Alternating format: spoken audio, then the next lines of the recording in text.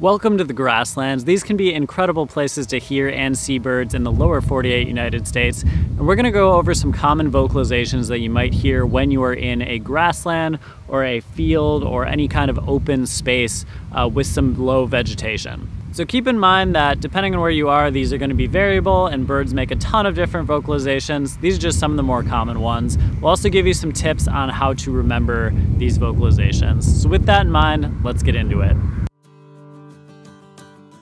The field sparrow song increases in rate and pitch, and some have said it sounds like a ping pong ball being dropped onto a table, increasing as it goes.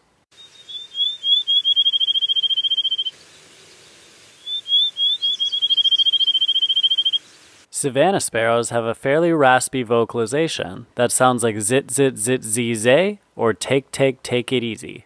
They can often be seen singing in open areas.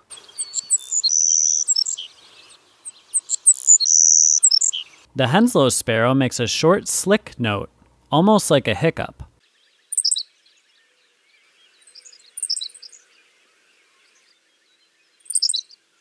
The grasshopper sparrow song may involve a series of bubbled, buzzing notes, and one of their songs sounds similar to Tic Tac 2C, with that last note being a trill.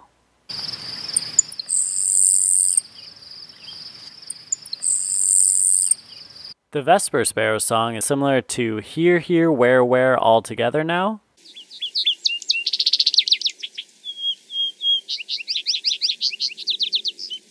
The Lark Sparrow makes a series of trills, buzzes, and chips.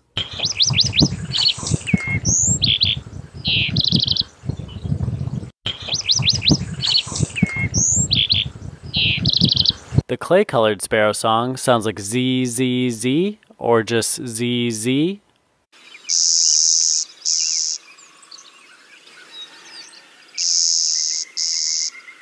Next up is a large sparrow called the Eastern Towhee. One of their songs sounds like they're saying, Drink your tea.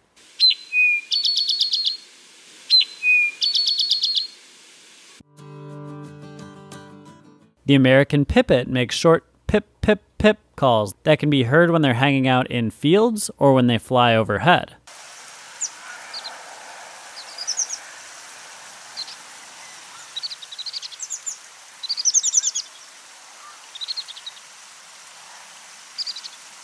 The eastern meadowlark song sounds similar to a slide whistle, or a mnemonic device for it is it sounds like, But I do love you.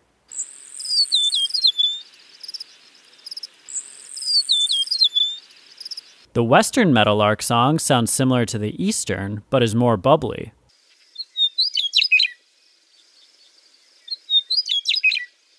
The horned lark makes a series of fast notes, often rising in pitch and ending with a jumble.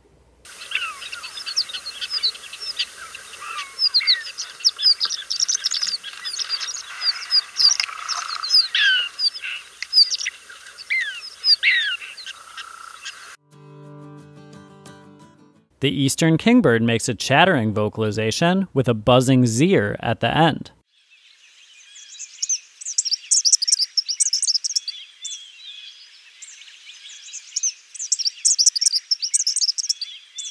The western kingbird makes kip notes that, when strung together, sound similar to a song made up of a bunch of kips.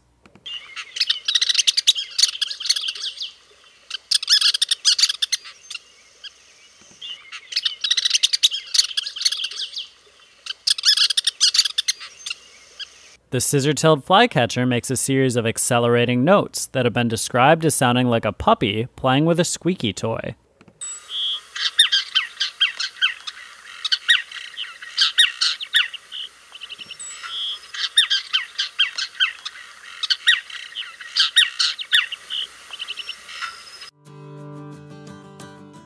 The tree swallow vocalizations are very high pitched and can be composed of a chirp, a whine, and a gurgle in various patterns.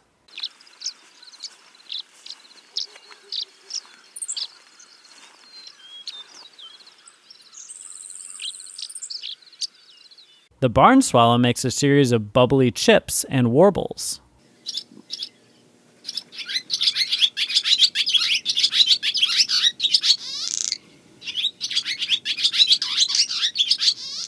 The wren makes a series of accelerating chips with a trill or chatter at the end.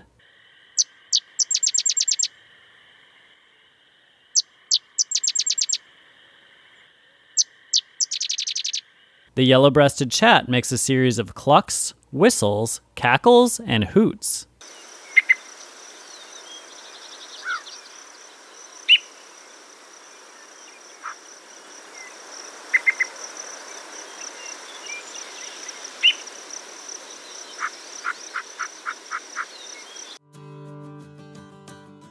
The northern bobwhite makes a namesake bob white call.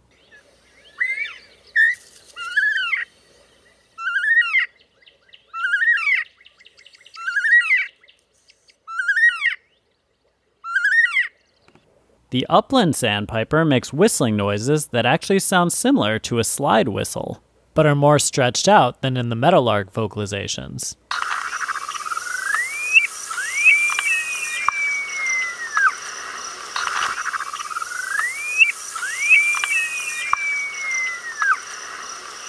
The killdeer makes a vocalization that actually does sound like killdeer repeatedly, as well as a sharp D call.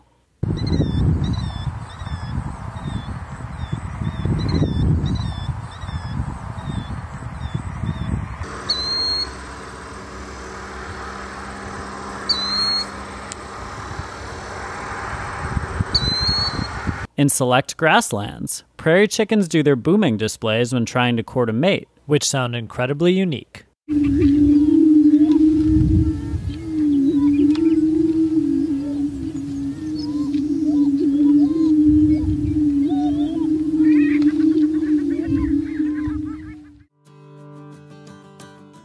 One of the eastern bluebird songs sounds similar to Cheer, Cheerful Charmer.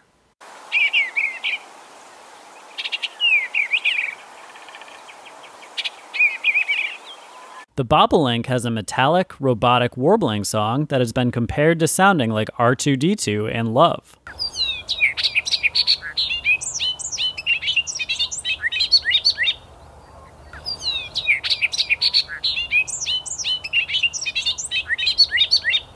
The dickcissel makes a namesake Dick Sissel or Dick Dick Sissel Sissel vocalization.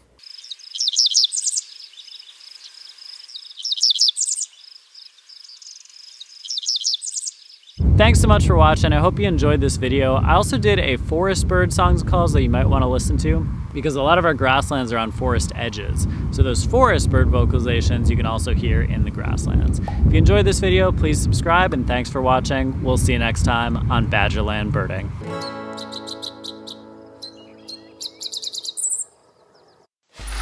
Free audio post production by Auphonic.com.